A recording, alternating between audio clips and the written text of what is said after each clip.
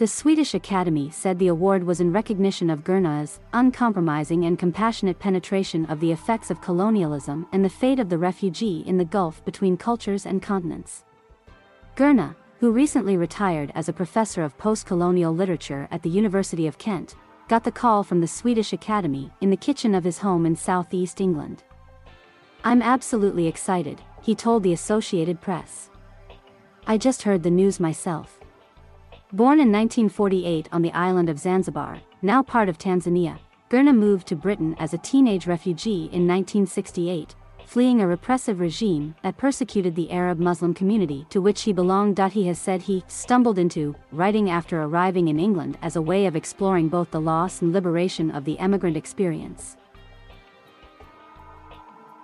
Gurnah is the author of 10 novels, including Memory of Departure, Pilgrim's Way, Paradise, shortlisted for the Booker Prize in 1994, By the Sea, and Desertion.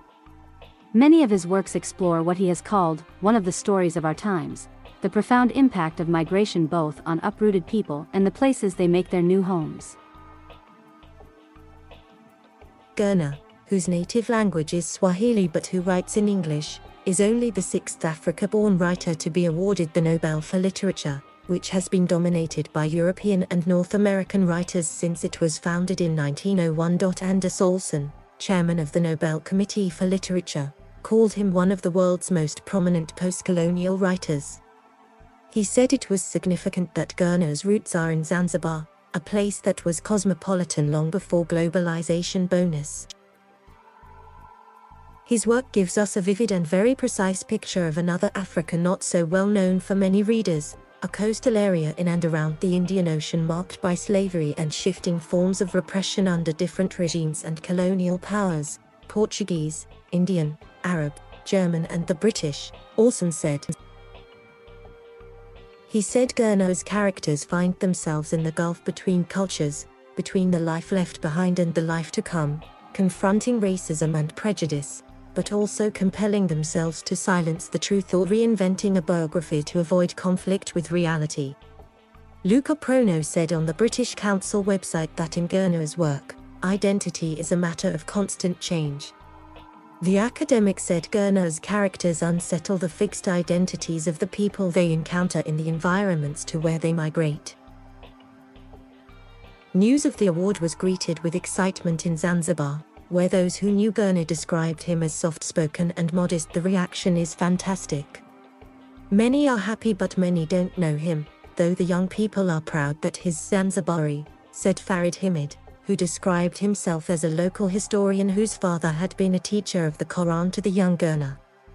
I have not had the chance to read any of his books, but my family talked about it. Gurnah didn't often visit Zanzibar, he said, but he has suddenly become the talk of young people in the semi-autonomous island region and many elder people are very, very happy. Also me, as a Zanzibari. It's a new step to make people read books again, since the internet has taken over. The prestigious award comes with a gold medal and 10 million Swedish krona. The money comes from a bequest left by the prize's creator, Swedish inventor Alfred Nobel, who died in 1895. Last year's prize went to American poet Louise Gluck for what the judges described as her unmistakable poetic voice that with austere beauty makes individual existence universal. Gluck was a popular choice after several years of controversy. In 2018, the award was postponed after sex abuse allegations rocked the Swedish Academy, the secretive body that chooses the winners. The awarding of the 2019 prize to Austrian writer Peter Handke caused protests because of his strong support for the Serbs during the 1990s Balkan Wars. On Monday, the Nobel Committee awarded the prize in physiology or medicine to Americans David Julius and Ardem Patapoutian for their discoveries into how the human body perceives temperature and touch. The Nobel Prize in Physics was awarded Tuesday to three scientists whose work found order in seeming disorder, helping to explain and predict complex forces of nature, including expanding our understanding of climate change.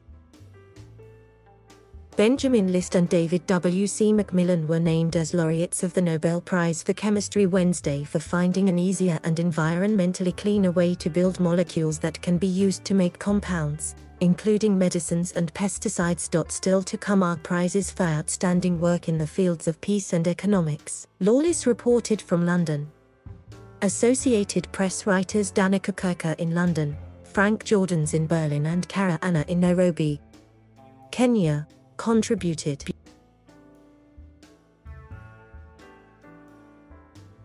Thank you for watching. Please subscribe